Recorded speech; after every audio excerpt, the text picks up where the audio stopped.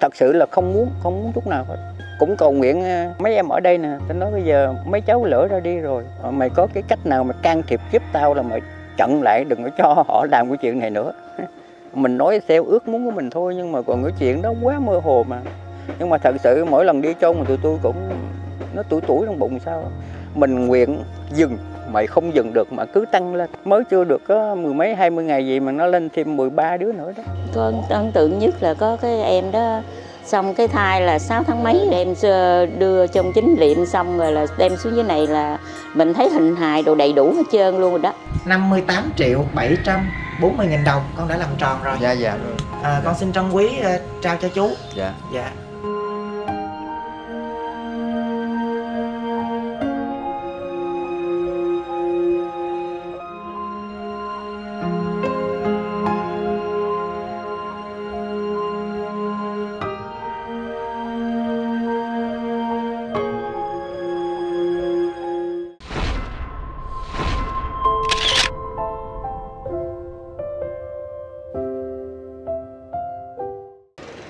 Xin chào cả nhà đã đến với video tiếp theo trên Nhân Chứng Channel Mình là Nhân Ở Hôm nay thì Nhân đang quay trở lại Xuân Hòa, kế sát Sóc Trăng à, Và Nhân quay trở lại Nghĩa Trang Thai Nhi ở đây Và ngay sau lưng Nhân đây là chú Chính Xuân Chú đang dọn dẹp gì hả chú? dạ dạ Dạ à, Thì à, câu chuyện này Nhân đã chia sẻ trong video lần trước rồi Chú Chính Xuân là người đã thành lập nên một Nghĩa Trang Thai Nhi ở đây à, Và hôm nay thì à, Nhân có mua một ít sữa Anh Phong Bụi thì cũng cầm một ít bánh ở phía trước Đến đây viếng thăm các bé. À, Và trao sự ủng hộ của quý mạnh thường quân Để à, ủng hộ cho các bé ở đây. À, Bây giờ thì mời cả nhà sẽ cùng Nhân vào trong nha. Đây ngay phía sau Nhân đây chính là các bé đang nằm đây. Cái này là phần con trích trong quỹ vong linh của con á. Dạ dạ. Con xin phép gửi cho các bé rồi Dạ, con dạ, với chú rồi, vô ok. luôn. Dạ, dạ. Chứ giờ để này nó không không an toàn hôm lắm nay có bé nào gia nhập đại gia đình đó hay không chú dạ không mới ngày em kia dạ bây giờ hôm nay là đã lên ba trăm mấy luôn nó lên 380 rồi tức là cái con số mà lên 13 đứa đó dạ Dạ. nó Tự- đau lòng ha mình Dạ, nghe dạ. cái con số nó tăng mình đau Dạ. lòng chỉ trong ờ, một cái thời gian Dạ, ngắn dạ. thôi Dạ. Ờ, chưa được một tháng Hôm nay mình tụi có mình trở lại bé nhưng luôn mà. Dạ có chứ mình phải số lượng các cái- bé cái này là quà của mấy chú mà cũng phải cúng cho tụi nó chứ. Dạ tức là giờ mình cũng lấy ra một dạ dạ nha. dạ mình cũng phải lấy ra chứ. Cũng mỗi chỗ một cái nha. Còn Dạ, lại dạ. thì gửi lại đây. Dạ dạ. Ờ, chú Chính Xuân ơi cho con hỏi thăm là trong hơn 300 ờ, bé thì ờ, ba mẹ của các bé thì phần lớn là sinh viên hay là công nhân hay là những người họ trưởng thành rồi dạ cái đó chuyện đó tế nhị tôi không nói à. Ừ, nhưng mà con Ừ. hỏi thăm là tỷ lệ dạ cái tỷ lệ thì à, cái cái cái đám nhóc nhóc có nhiều sinh viên là nhiều nhất. Dạ nhóc nhóc cho tôi không nói sinh viên. Chú ơi con lấy bánh ờ, dạ dạ Ờ, bánh một một hộp thôi ha. À, à, dạ lấy bớt bớt ra. Dạ. Cái chuyện đó nó nó nó nó hơi tế nhị chút mà mình không có tôi cũng không cần hỏi người đó là bao nhiêu tuổi. Người đó ở đâu làm cái gì tôi chỉ biết đem tới gửi tôi là tôi à, mình tiếp nhận thôi. dạ tiếp nhận thôi. Không hỏi tới đầu tư hả? Cái đầu tư họ nó mình không mình không dám thâm nhập vô. Bác ra tu rô bác ra tu rô ta bà ha nam mô tu rô bà gia đắc thang a đa gia đăng điện thang tu rô tu rô bác ra tu rô bác ra tu rô ta bà. Những cái bé mà mới gần đây á là các bé có bé nào mà nhiều tháng tuổi không ờ, chú Chí? Dạ không. Hay là chỉ còn có một vài tuần tuổi thôi? Nó nó nó chừng ờ, cái đứa lớn nhất là nó là 3 tháng đó. 3 tháng? Dạ 3 tháng tuổi. Ờ, 3 tháng thì chắc là tay chân là không có không có. Cái đó nó chỉ một giống một một một, một cục chứ thôi. Một máu vậy thôi. nó lớn hơn chân cái của mình chút à. Bắt đầu bắt đầu 3 tháng rưỡi. 3 tháng rưỡi cho tới 4 tháng là bắt đầu nó có là nó có tứ chi rồi bắt đầu 4 tháng 10 ngày là bắt đầu nó có giới tính. Rồi 5 tháng là bắt đầu mới tới lục phủ ngũ tạng. Nhưng mà nó mới chỉ có giống như là cái mầm thôi. Và bắt đầu nó mới phát triển dần dần dần dần. Đa số là những em hai ba tuần tuổi nhiều lắm. Ba bốn tuần tuổi đó. Vậy thì ờ, mới phát hiện ra thì ờ, mẹ các bé là đã tính chuyện là phá rồi. Dạ dạ đúng rồi. Nó có ờ, tôi hỏi ờ, tại sao mà là có một cô thế này cổ năm nay 34 tuổi rồi. Tôi hỏi cổ cổ sao mà cô tuổi lớn quá mà còn còn xảy ra cái trường trường hợp này? Cổ nói à, trường hợp đặc biệt lắm. Tôi nghĩ nếu đặc biệt quá thì tôi cũng hỏi. Nhưng mà tôi cũng khuyên cô một cái là lần này lần cuối cùng thôi nha. Tại vì nó ảnh hưởng tới cái cái cái cơ thể của người phụ nữ nhiều lắm. Bây giờ là cô sám hối đi đừng có tái phạm nữa tái phạm nó nguy hiểm. Lắm cổ hứa nhưng mà cái chuyện cổ có làm hay không là mình không biết được. Dạ nó vậy đó. Nhân có thấy là phía sau uh, nghệ trang là có một cái đống cát không? Dạ. À, không biết là kế hoạch sắp tới của chú Chín Xuân sẽ như thế nào ạ? dạ vừa rồi thì ờ, ờ, có một ờ, nhờ cái ờ, cái chú mà youtube nhân chứng á chú quay lên cái rồi người ta có cho tôi tôi cộng phần của tôi không là được 25 triệu là có tiền thì mình làm thôi. Dạ. có 25 triệu thì mình cứ xài 25 triệu của đã rồi thiếu tới đâu tính tới đó. À, vài bữa nữa họ sẽ nhập tôi cho mình 5 thiên gạch nữa. Rồi có gạch có cát xong rồi bắt đầu mình mới tiến hành mình xây hết cái phần tiền mà người ta cho đó. Rồi người ta cho nữa mình tiếp tục mình xây nữa. Chứ mình đợi cái số tiền mà gom lại thì rất ư là khó Vậy mình ra ngồi đó mình coi cái miếng đất uh, sắp tới mở rộng Dạ. ra để có lẽ trước tiên là sẽ xây nền để Dạ. làm nền trước dạ bây giờ mình làm cái cái dạ dạ mình làm mà mình xây cái chung quanh cho nó à Xây xung quanh xong rồi giờ mình mình mua ra cát mình, vô. à, Dạ, xem à, cái nơi đó hả chú dạ dạ Đây là nghĩa trang mà đã an táng hơn 300 bé rồi và khu đất kế bên này là rộng bao nhiêu chú Chín Xuân? à, dạ theo giấy tờ thì một ngàn bảy nhưng mà mình chắc còn chừng ngàn hai à Dạ. dạ Và cát này thì chú ví dụ được bao nhiêu thì chú đổ nền. Dạ làm. cái này là cái này là 8 khối cát xây xây tô để mình à, mình à, xây cái cái bờ bao thôi á chứ còn mà cát nền nó thì mình xây mình xây cái vòng bao rồi mình mới bơm cát nền vô và dự kiến thì cái phần nghĩa trang mở rộng ra là sẽ nằm ở bên đây đây hả chú dạ đúng rồi ở ở bên đây nè dạ. từ đây mình qua cho tới cây xài cao cao bên kia đó cái À. cây cao đó Phía bên kia cái xài nếu mà bước qua đó Dạ. chắc khoảng 70 mét ha chú. Dạ, Nhưng mà chưa- cái này cực nha. Con thấy là chú phải làm cỏ nè. Làm vườn lại nè. đương nhiên rồi mình à, mình à, mình xây tới đâu là mình phải dọn sạch rồi mình mới xây dựng được chứ rồi còn à, mấy cái dạng cỏ này là trước khi mình bơm cát vô mình phải dọn sạch chứ Dạ. dạ bây giờ mình chỉ có đủ tiền mình tính ra mình chỉ đủ tiền không biết mình có làm đủ cái bờ bao hay không ừ. Ước Chưa- chừng là khoảng bao nhiêu chú? Dạ không ước được tại vì họ tính theo cái tập thể là nếu mà làm xong hết là 290 triệu mà bây giờ mình có 25 triệu mà mình đâu có tính tốn gì đâu mình cứ làm hết 25 triệu rồi mình ngưng À, hôm hôm trước thì chú Chính Xuân có chia sẻ ờ, với tụi con một cái câu chuyện về các bé. dạ Hồi đó chú Chính Xuân có hứa là làm cho các bé là cái mộ mộ cốc tấm bia đúng không ạ? dạ dạ, Nhưng mà chú thiếu chú quên một cháu. dạ. Thì ờ, có một cháu thì có về báo mộng với chú. hai lần rồi thằng đó nó kêu hai lần rồi đó Thằng đó tí nữa chú cho con vô con thăm ờ, cháu nha. Dạ, con dạ. gửi khui thêm hộp sữa tặng ổng. à, dạ dạ dạ bé đó là mấy tháng ta? Ờ, là là là thật sự thì nó nhiều quá rồi, không thể nhớ cái tháng tuổi được. Bây giờ cái cái ngày mà mà mà chôn nó cũng không nhớ nổi nữa mà. Bây giờ là gần 380 rồi, đầu óc đâu nhớ nổi. Chỉ có khi nào cha mẹ nó lại kiếm. Ờ cái ngày đó, cái tháng đó, cái năm đó là có gửi cho tôi một thai nhi. Thì tôi lật cái sổ ra thì tôi mới biết em đó nó nằm số mấy. Chứ còn bây giờ mà nếu mà nói ờ, để mình biết chính xác cho một đứa nào thì không thể biết nổi bản thân con với nhân á ờ, thực sự thì ờ, không muốn rằng là sẽ hình thành cái nghĩa trang nó rộng hơn nữa. Dạ. tại vì càng rộng á thì đồng nghĩa với cái việc là nhiều bậc cha mẹ dạ. phá thai dạ. đau Đó. lòng. nó cũng nguy hiểm lắm. Bây giờ mà à, nói nói chung lại là chúng tôi tùy duyên thôi. Chứ thật sự là không muốn không muốn chút nào hết.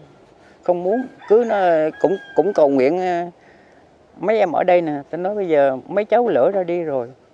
Ờ, mày có cái cách nào mà can thiệp giúp tao là mày chặn lại đừng có cho họ làm cái chuyện này nữa. Mình nói theo ước muốn của mình thôi nhưng mà còn cái chuyện đó quá mơ hồ mà. Nhưng mà thật sự mỗi lần đi chôn mà tụi tôi cũng nó tuổi tuổi trong bụng sao mình nguyện dừng mày không dừng được mà cứ tăng lên. Mới chưa được có mười mấy hai mươi ngày gì mà nó lên thêm 13 đứa nữa đó. Mới đi thôi à. Dạ. nhưng mà thực ra thì trong cái số đó không phải là phá thai không mà sự cố nữa ờ đúng rồi còn sự cố nữa tức là Dạ. không phải chủ ý không mà còn những cái sự cố nữa dạ dạ nó ba có mẹ được. muốn giữ nhưng mà Dạ. do thai yếu thai hư dạ dạ nó cũng Phải có bỏ. nhiều trường hợp lắm dạ đúng rồi chứ không phải là tuyệt đối là đứa nào nó cũng muốn phá hết. chẳng hạn như hai đứa nó lỡ có bầu rồi mà nó thương lượng gia đình hai bên không được thì con con đường cuối cùng nhất là chỉ có bỏ em bé đó thôi không cách nào khác nữa là có một em bé là 6 tháng mấy rồi cuối cùng dàn xếp cha mẹ không được rồi. hai đứa nó cũng chấp nhận nó cũng lấy em bé đó ra. Nhưng mà nói cho nó cụ thể thế này là hai đứa đó là khi mà nó phát hiện ờ, có bầu rồi, cặp đó nó tự kể cho mình nghe nha. Là tôi hỏi tại sao mà 6 tháng mấy rồi mà còn thế này con? Nó nói bây giờ là con sẽ kể câu chuyện gia đình con cho chú nghe. Sau khi mà hai đứa phát hiện dính bầu rồi thì hai bên về mới thương lượng với cha mẹ. Nhưng mà phía bên đàn nam thì họ chịu, mà nữ họ không chịu rồi hai đứa nó bàn cuối cùng là nó bỏ học rồi nó bỏ làm nó dắt đi tới một địa phương khác. Để nó nó nó, nó dưỡng thai đến ngày nào mà uh, sanh đẻ rồi tính sau. Nhưng mà xui cái là gặp gia đình phía bên nữ đó họ giàu quá. Rồi họ bỏ tiền ra họ mướn mướn những người đi tìm đó. Rồi tới tháng gần 6 tháng mấy rồi mới phát hiện ra người phía bên ờ, nữ họ nói là nếu mà không giải quyết êm đẹp thì họ sẽ truy tố. Tại lúc đó là cô đó chưa đủ 18 tuổi nữa. Vậy đó. Thành thử bắt buộc. Vậy bây giờ đàn nam bắt buộc là phải chấp nhận cái phương án đó chứ không ở tù sao? Anh tử cũng tội nghiệp cái hoàn cảnh đó. Rồi tâm lý của tội nó nó khóc không à? Chỉ có thằng nam nó nói chứ còn con nữ đó nói không được. Gặp chú tâm sự như vậy. Dạ dạ dạ. Lòng tại vì 6 tháng mấy rồi mình mới hỏi nó mới tự kể vậy đó cho nên nó không kể là mình không biết cái hoàn cảnh nó éo le vậy đâu. Vậy là là à, hai bạn đó là vẫn còn thương thương nhau lắm rồi và cũng quý đứa trong quý đứa con nữa lắm. Dạ dạ. Nhưng mà tôi không hiểu tại sao mà từ ngày mà nó nó gửi con nó đây rồi là tụi nó không lại nữa. Tôi không hiểu cái đó là cái hậu như thế nào. Nhưng mà thấy tụi nó có cái có cái sự thành tâm hối hận dữ lắm. Nó cũng nói chung ra là à, tôi khuyên tụi nó là bây giờ các con cũng không nên đủ thừa ai hết không đủ thừa cha mẹ hay đủ thừa ông bà hay là dòng họ đó là cái nghiệp của đứa con của con. Với cái nghiệp của hai đứa bay nó dính chùm như vậy đó. Thôi bây giờ nó lỡ rồi thì chỉ có sám hối thôi. Tuyệt đối cũng không hận ai. Cha mẹ mình mà. Cha mẹ mình suy nghĩ thế nào cho nên nó buộc mình làm những chuyện đó. Cha mẹ mình thương mình. Tương lai của của các con nó còn dài vậy lắm mà bây giờ sự việc này nó lỡ dở vậy thôi, cũng tùy duyên thôi, cũng do cái nghiệp. Nói chung là do cái nghiệp tụi bay vậy thôi, bây giờ thôi bỏ đi. Đừng có hận ai hết là tốt rồi. Cái đó là tụi bay trả ơn cho tao đó. Tao không cần bay là phải à, gửi bánh gửi quà hay là gửi cái gì đó mà tao khuyên sao mà tụi bay nghe được như vậy đó. tức thì là phải trả cái ơn tao nuôi với chăm sóc con tụi bay vậy thôi. Cái đó là cái quan trọng nhất. Còn cái chuyện tiền bạc hay là quà cáp, không cần tụi bay cứ nghe lời tao là tốt rồi. Đúng là mỗi một cái câu chuyện Dạ, dạ. à, ở đây là mỗi một cái phận đời hả anh phong. Dạ dạ. Và hồi trước em có ấn tượng nhất với một cái câu mà lúc mà chú ờ, chú tụng cho các bé đó xong rồi Dạ. chú khuyên nhủ các bé đó. Dạ. Đó là chú nói là thôi ờ, đừng có trách ai hết á. Dạ. Đừng có trách cha mẹ của tụi con bởi vì họ dù gì cũng là cha mẹ. Chú khuyên Dạ. các bé đang nằm ở đây nè. Dạ dạ. Dạ, buông bỏ hết đi. Dạ. Thì để các bé được sớm siêu đúng không chú dạ dạ đúng rồi. Dạ. nói chung không phải là một lần đâu mà cứ em nào cũng vậy em nào tôi cũng phải khuyên nó vậy hết. Con nít mà mình phải vậy nó nhiều lần mới được chứ nói một lần nó đâu có nghe. Con của mình là mình dạy trời ở đất khởi mà nó không nghe mà còn mấy đứa này còn trời ở đất khởi con mình nữa. Anh tự nói nhiều lần thậm chí cũng tâm sự cũng năn nỉ. Tôi làm đây nè tôi nói bây giờ mà bây giờ mấy đứa phải suy nghĩ coi thử coi. Bây giờ à, già cũng chết nè à, trẻ cũng chết nè nghèo cũng chết nè mà giàu cũng chết. Trước cái gì cũng chết bản thân tao cũng chạy mai mốt tao cũng đi theo tụi bay đi giận làm cái gì bây giờ sự việc nó xảy ra rồi bây giờ cứ niệm phật đi cầu xin chư phật gia hộ cho con mau siêu thoát thôi nhưng mà cái cảnh siêu thoát nếu còn thành tâm á thì nó sẽ sướng hơn cái cảnh như bây giờ tao chắc chắn như vậy rồi mình tự cứ nghe lời ông đi cho nên cái tên vô ưu là đúng nhất luôn á Dạ, Cái dạ. tên vô ưu cho các bé Dạ, là đúng dạ. nhất đừng có Dạ. ưu phiền đừng Dạ, có đừng có- đừng có bận tâm nữa. tạp niệm Dạ, đừng dạ. có bận tâm nữa thực sự à, các bé trí tuệ cũng không có nhiều. Dạ. cho nên là ví dụ như là hay khi mà ba mẹ hay phá thai á là hay hận thù ba mẹ dữ lắm. Dạ. rồi quậy phá dữ lắm. Cho nên là chú đặt tên vô ưu là muốn cho vô vô tâm vô thức. Dạ dạ. Đừng có đừng có bận Đừng tâm nhiều. dạ. dạ. Mà nghe như vậy thì nó nó nó cũng đỡ ờ, đau lòng hơn là vô danh á anh phong. Nhiều nghĩa trang ở, ở đây chú có đặt tên bé nào vô danh không? Dạ không á ừ, con con đồng tình cái quan điểm toàn của chú. là vô ưu hết. Mỗi Dạ. mỗi cháu đều phải có tên hết á. Dạ. và mình đặt tên vô ưu hay là nó tên trọn vẹn hơn ha vô danh thì nghe buồn quá. Thôi chắc mình vào bên trong vào bên trong đi mình khui Dạ, hộp dạ, sữa dạ. cho cái ông nhỏ ông kia ông quậy dạ dạ ở trong nghĩa trang này thì có một cái phần mộ mà ông nhóc đó ông quậy dữ lắm. Dạ. ông ờ, hai lần báo mộng với ờ, chú Chín Xuân. Hồi đó thì chú có nguyện là xây trọng cái tấm bia mà quên quên quên hả chú. Dạ không có tiền. Không có tiền đúng rồi không có tiền. Làm cho ông thì ông báo mộng về ông nói ông chú chính là ông chính dởm. Cô nói vậy luôn á hả? ừ, hiện về nói vậy á ông chính dởm hai lần nó như vậy nè cái cái khúc đầu này thì mình có nha. Nhưng mà ra tới cuối rồi cái mình không có tiền thành Dạ. thử cái đám mà nó khiếu nại là đám phía sau đó. Đám này. Ờ chứ còn từ đây là mình có rồi. Mình làm đàng hoàng như vậy rồi. Ờ, ví dụ mọi người thấy không? Ví dụ có bé thì chắc lẽ bé này là có ba mẹ. Dạ dạ. Ba mẹ cho chi phí cho nên là có cái tấm bản tên. Dạ dạ. Như bé này thì à, ba mẹ không có liên lạc nữa cho nên Dạ. là chú chính cũng không có điều kiện để làm một cái bản nữa dạ dạ. Này nữa này các bé ở đây. Cho nên các bé này mới chê là chú chính giỡn. Có được không trách là chú chính giỡn à, hôm nay thì à, cũng hữu duyên tụi con à, quay trở lại đây. Thứ nhất đó là thăm các bé thứ hai là cũng à, thăm chú với lại sư cô. Thì thời gian vừa qua đó ừ, sau khi con chia sẻ đoạn video á à, để con nói cho chú biết để chú cũng không hề đơn độc bởi vì có rất là nhiều mạnh thường quân để lại những cái lời um, tâm sự những cái lời nhắn. Đó là rất là thương và rất là cảm đã kích trước cái việc làm của chú. À, thì uh, song song đó à, ngoài cái tấm lòng của chú thì quý mạnh thường quân cũng hiểu là vẫn cần một cái sự vật chất để có thể mới lo lắng được cho các bé ở đây. Và một mình chú à, thì không thể nào mà làm hết được. Cho nên mạnh thường quân có gửi cho con số tiền này. Thì à, con xin phép đọc danh sách của mạnh thường quân nha chú. Dạ dạ. Dạ rồi. À, thứ nhất là Lý Tấn Thời 1 triệu đồng. Phạm Thị Kim Em 500 nghìn. Nguyễn Thị Bích Hoa 200 nghìn. Nguyễn Thị Mỹ Hạnh 500 nghìn Nguyễn An Bình 400 nghìn. Cô Lãm ở Bình Thuận 400 nghìn. Một mạnh thường quân giấu tên 300 đô Mỹ. Trần Thị Phương Thúy 1 triệu. Cô Mai ở Canada 400 đô Canada. Mạnh thường quân giấu tên 500 nghìn đồng. Bé Trí Quang 1 triệu đồng. Mạnh thường quân giấu tên à, gửi tiền Úc đổi ra là 8 triệu 500 nghìn đồng. Chị Mai ở Mỹ 100 đô Mỹ. Nguyễn Thị Tài 50 đô Mỹ. Hồ Thị Mỹ Nga 100 đô Mỹ. Cô Kim 100 đô Mỹ. Một gia đình giấu tên ở Bình Dương 500.000 đồng. Gia đình chú Như Quang 500.000 đồng. Võ Thị Kim Tuyến 500.000 đồng. Vợ chồng bác Tươi Chiêu ở Mỹ 100 đô Mỹ. Cô Nông Nguyễn ở Mỹ 100 đô Mỹ. Chị Loan và chị Linda ở Canada 10 triệu đồng. Nguyễn Hồng Giang 200.000 đồng. Thanh Vi 100.000 đồng. Vương Ngọc Ánh 500.000 đồng. Cô Diệu Hạnh 1 triệu đồng. Đây là số tiền à, ủng hộ cho chú Chính Xuân cũng như là sư cô thích nữ Trung Quan dành trọn vẹn cho Nghĩa Trang ở đây. Có thể xây Nghĩa Trang nè rồi cúng kính cho các bé. Dạ. Dạ rồi. Thì hôm nay con đại diện con trao cho chú ha. Dạ dạ. Ngoài ra thì à, chị Loan và chị Linda ở Canada à, xin gửi- gửi riêng cho chú Chính Xuân 5 triệu đồng để Dạ. à, phát cơm từ thiện ở các bệnh viện. Dạ dạ. Dạ bởi vì biết đến hoạt động của chú. Dạ dạ. Rồi con xin cộng tổng số tiền đó và con sẽ gửi danh sách này riêng cho chú để chú dễ coi. Dạ dạ. Thì à, mạnh thường quân à, chuyển khoản không có dấu nhưng có đọc sai thì mong được thông cảm.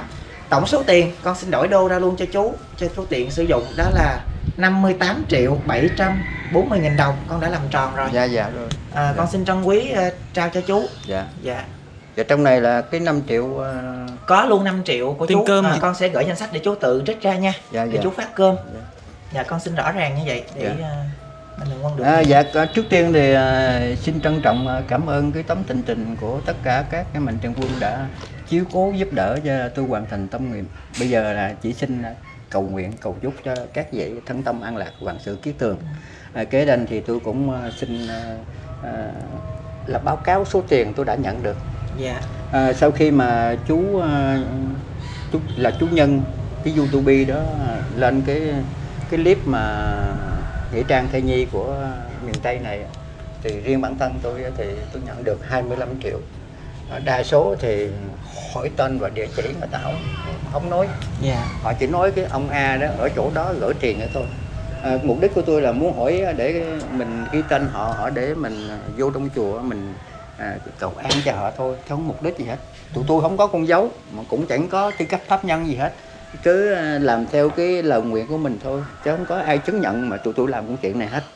Chứ à, mới đây thì chùa Chánh Thiên Cơ có chuyển cho tôi à, 15 triệu nữa là tổng cộng là 40 triệu.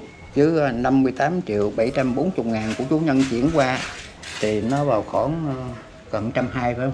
dạ. Dạ. À, trăm hai. Trăm hai thì bây giờ hiện tại mình đã đổ cát rồi vài bữa nữa cái ờ, tiếp tục người ta đổ gạch. Rồi bắt đầu mới ờ, nhập cát ờ, nhập sắt với xi măng về bắt đầu mình tiến hành mình xây dựng. À, cũng kính thưa mạnh quân là tôi làm tới đâu tôi sẽ báo cáo tới đó. Chứ còn tôi tôi không có tư cách pháp nhân không có con dấu mà không có hộp thành gì hết. Tôi làm theo cái tâm nguyện và cái cái sự thành thành tâm của bản thân tôi thôi.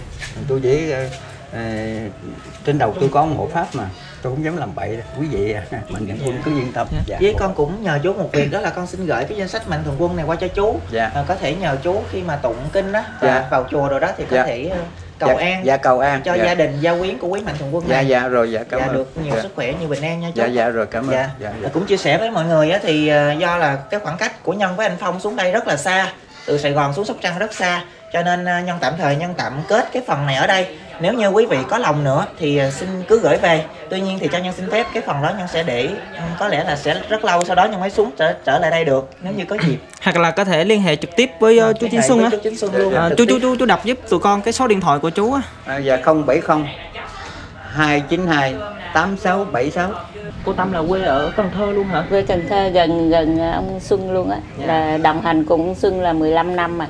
Chắc có lẽ cô tham gia cô làm nghĩa trang này thì cô cũng có một vài lần là cô trực trực tiếp là cô nhìn thấy những cái thai nhi.